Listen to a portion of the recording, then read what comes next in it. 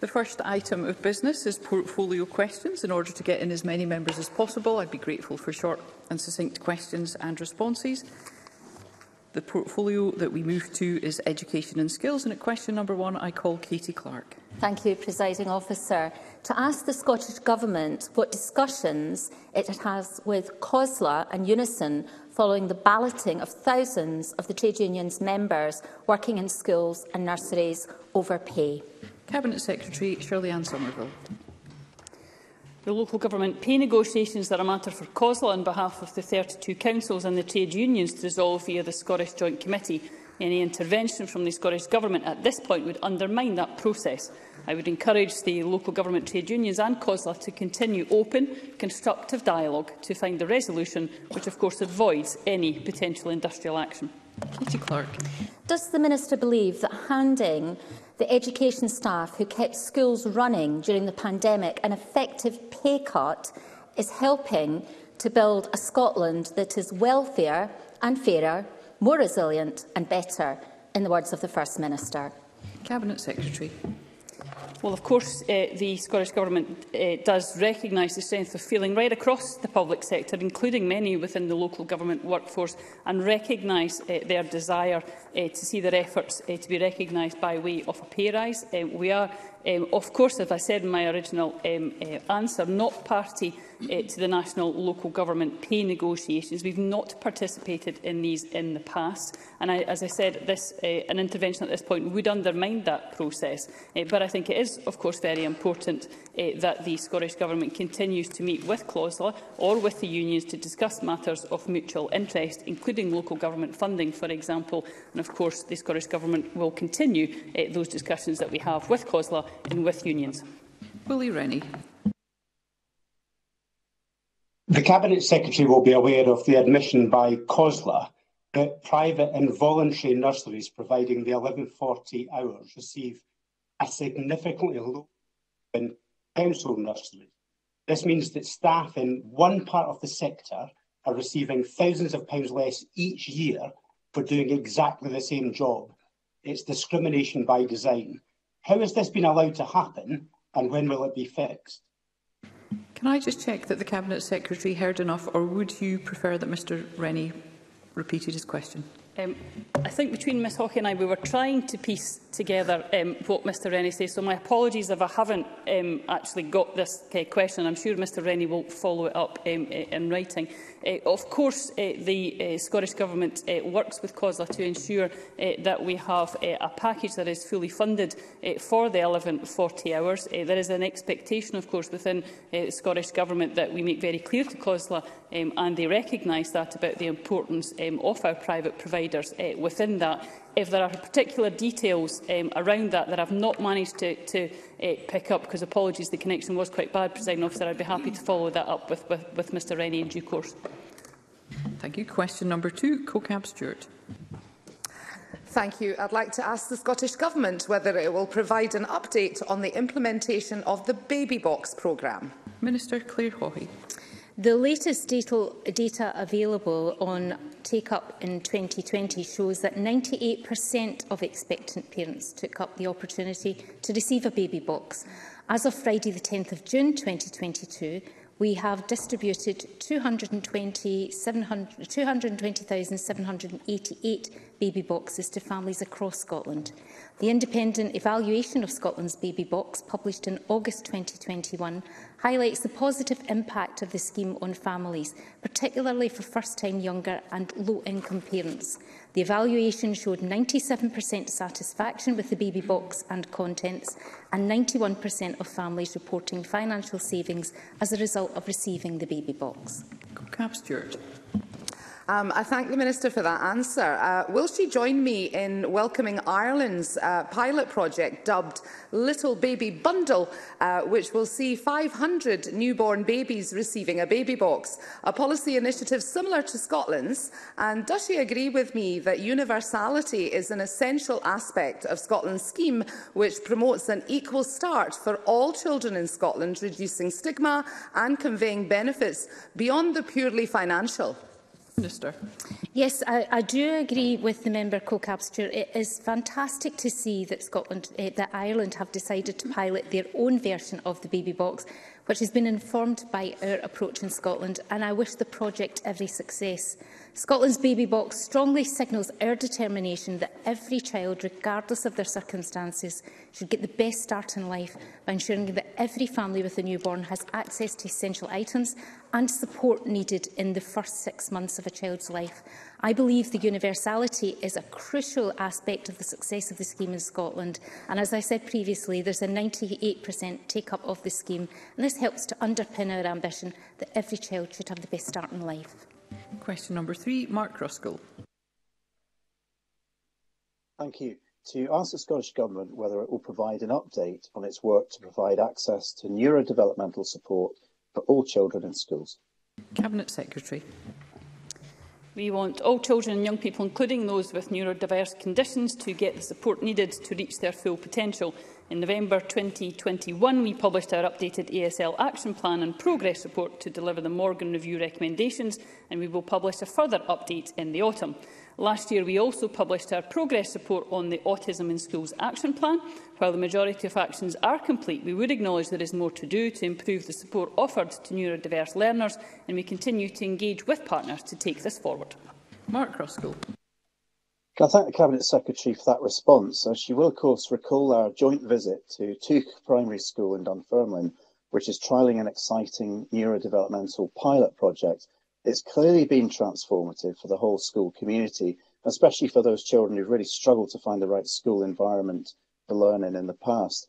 Getting it right for every child means that all children in all schools deserve access to this type of support.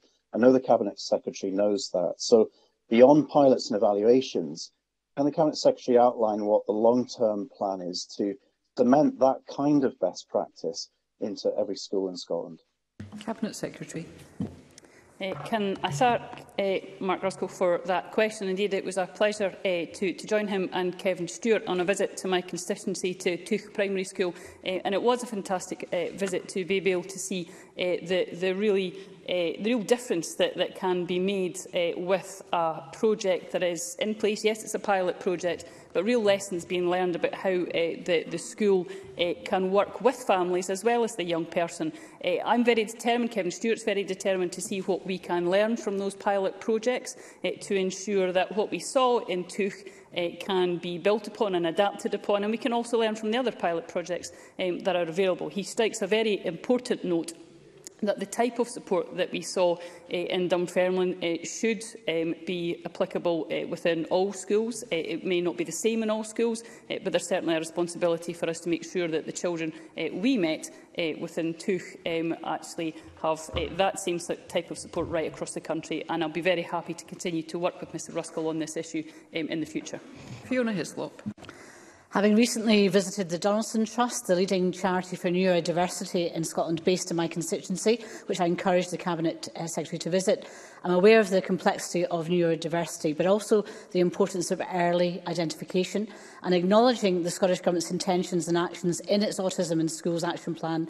What assurances can be given to my constituents regarding timescales for early identification of individual needs in neurodiverse pupils, When will mainstream schools make full adaptations to meet the needs of neurodiverse students and how will the real-life impact of the Scottish Government's action plan be assessed? Cabinet Secretary. Well, education authorities, uh, of course, already have a duty to identify, provide for and review the additional support needs of their pupils, including those with neurodiversities. Uh, Fiona Heslop is quite right to point out to the importance of early identification and ensuring that the support is there for the child um, and also, of course, uh, for uh, their family. Um, and it's very important that we look uh, very carefully at that. There's responsibilities, of course, with the uh, Scottish and, uh, government in this, and also, of course, for local authorities. All local authorities have a staged intervention and assessment process in place which should enable practitioners to assess and meet their learners' needs. Uh, and I'd like to thank uh, Fiona Hislop for uh, bringing uh, the work of the Donaldson Trust uh, to my attention uh, once again, and I would, of course, uh, be happy uh, to visit them should the Donaldson Trust wish me to visit. Oliver Mundell. Thank you, uh, Presiding Officer. Identification is important. So can I ask the Cabinet Secretary if the Scottish Government will reconsider a more robust national neurodevelopmental screening programme in our primary schools? Cabinet Secretary.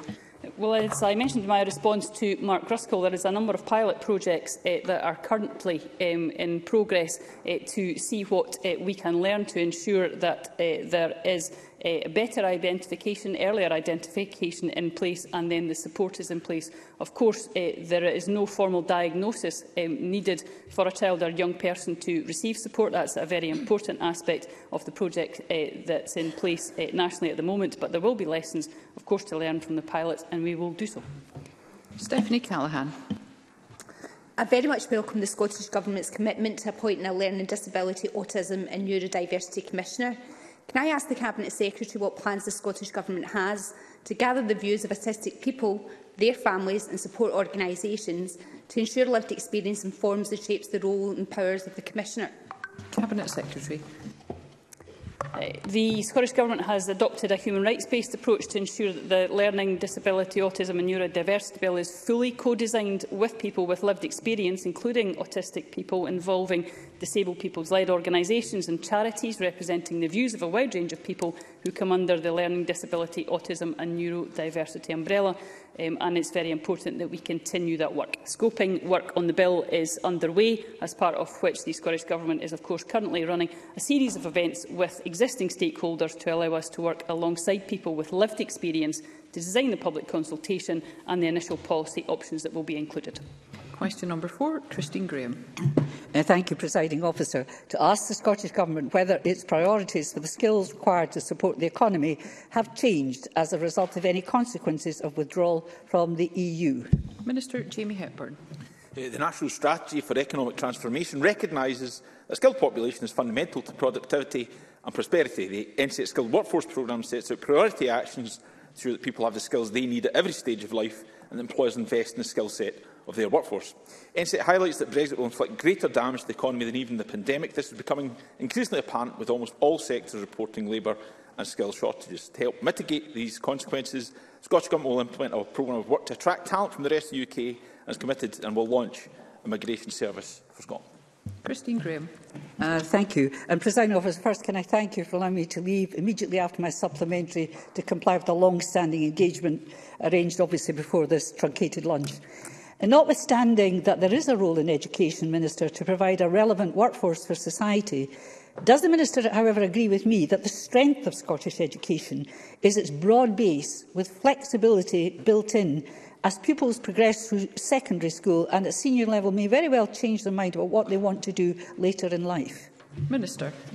In, in general terms, yes, I, I very much do uh, agree with that. We've, of course, we uh, see the eh, constant change to uh, the nature of our society and our economy. And in that sense, our education system must uh, adapt and must ensure that people can be resilient and adapt as uh, in the face of those uh, changes as well. So yes, I, I very much agree uh, with the, the point that Christine Graham makes. And not only is it true for the school environment, it's also true for people's education, skills and adventures across the entirety of their life. So she can be assured that that's the approach that I'll take in relation to the area of activity I have. Question number five, Megan Gallagher. Thank you, Presiding Officer. To ask the Scottish Government how it plans to address the reported increase in incidents of violence in schools. Cabinet Secretary. All forms of violence are unacceptable and have no place in our schools or indeed society. We and partners across the education sector advocate an approach for schools and local authorities to work with pupils on the underlying reasons behind inappropriate behaviour We want all pupils to respect their peers and staff and are supporting a number of programmes to promote positive relationships and tackle indiscipline, abuse and violence. This includes good behaviour management, restorative approaches and programmes to help develop social, emotional and behavioural skills. Aidan Gallagher. Teaching unions such as the NES, UWT and EIS have raised serious concerns about the soaring violence and aggression in classrooms. They have warned that the reduction of classroom assistance, combined with the SNP government refusal to commission research into poor behaviour, are contributing factors. One union representative has even claimed it's as if they don't really want to know the scale of the problem. Cabinet Secretary, this is happening under the SNP's watch. So will you therefore listen to the concerns being raised about increased levels of violence in our schools? And will the Scottish Government admit that cuts to council and education budgets are putting teachers at risk? Cabinet Secretary. Well, we have, uh, of course, uh, now seen 2,000 additional uh, staff, uh, teaching staff compared to uh, pre-pandemic levels. And of course, uh, we have also uh, an invested an additional £45 million since 2019-20 to enhance the provision of support staff uh, within schools. Uh, the latest um, edition of the Behaviour in Scottish Schools um, research is a very, very important part of our work. The most recent iteration of that was due to take place in 2020, although, as I hope the Chamber uh, would appreciate, given what was happening at schools at the time, the decision was taken to cancel that research because of COVID.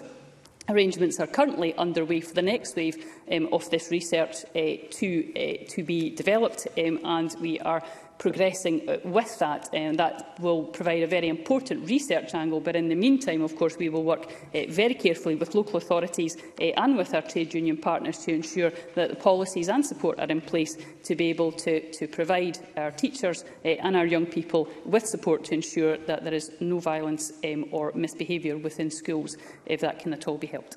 Eleanor Whittam.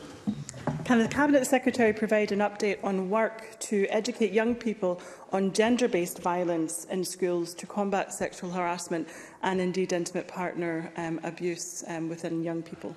Cabinet Secretary.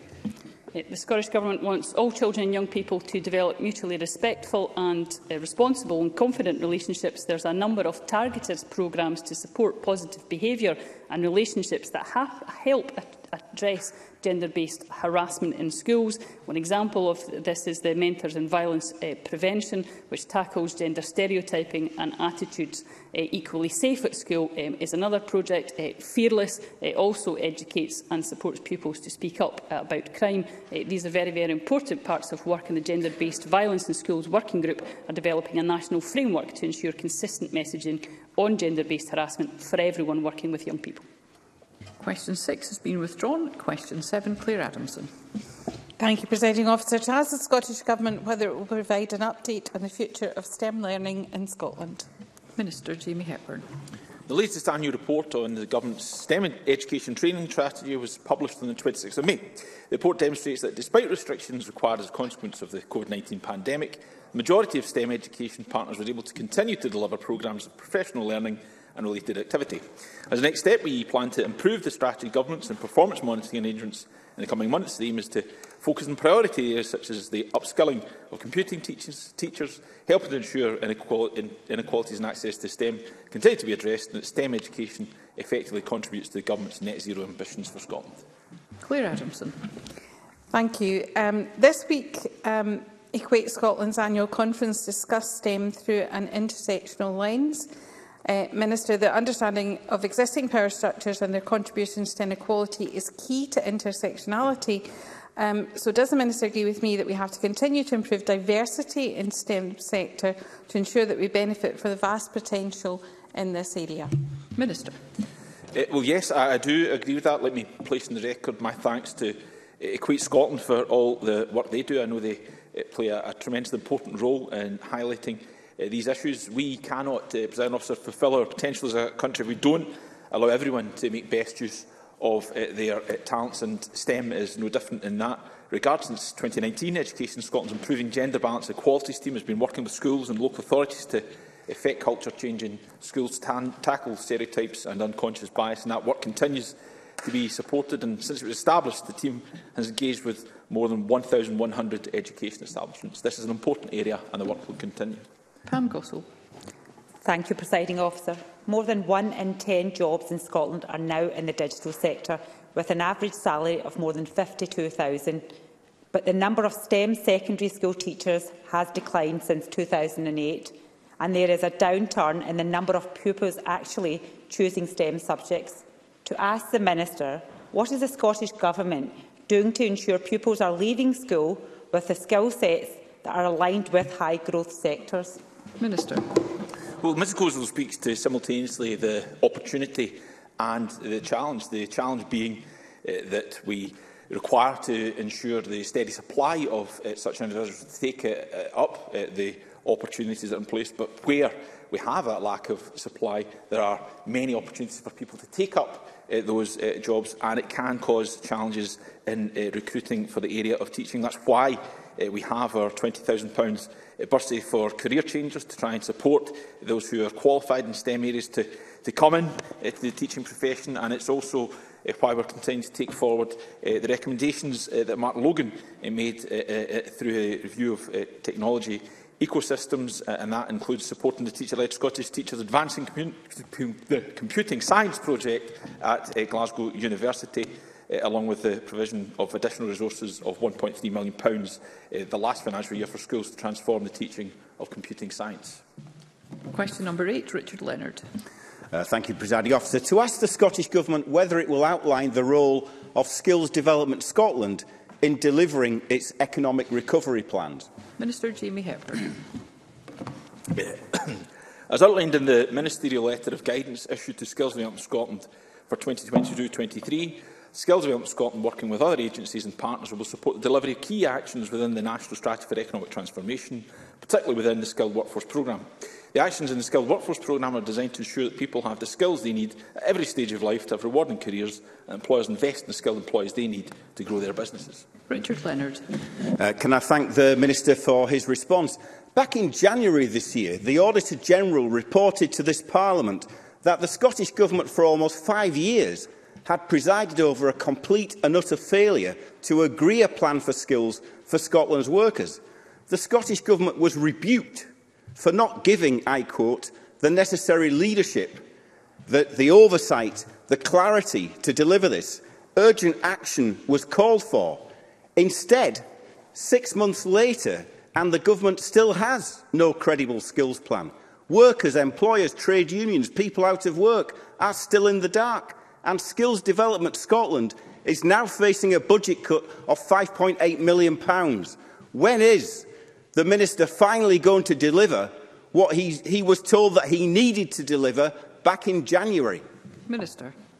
Well, of course, uh, Mr Leonard refers to the report that his committee has considered. He knows full well that I'm engaged in uh, responding to uh, the report. We've welcomed the recommendations. We're taking them uh, forward just now. In relation to the Uh, the suggestion that we have no plan for taking forward a, a programme of uh, uh, delivering skills interventions for the people of Scotland. I would uh, reject that assertion. We have, through the National Strategy for Economic Transformation, made a range of commitments to support uh, the provision of skills interventions across a, a person's life. We have the Future Skills Action Plan, which we're working towards. And in relation to Eh, the funding for Skills Development Scotland. They are eh, funded to deliver the core services that they provide. There were some services that eh, were provided as a one-off intervention that, yes, aren't being funded now, but they have the funding that they require to get on with the task, as demonstrated by the fact that we saw, for example, a 42% uplift in the number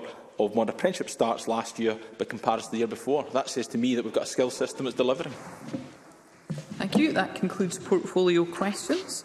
The next item of business is a statement by Tom Arthur on provisional outturn 2021 to 2022.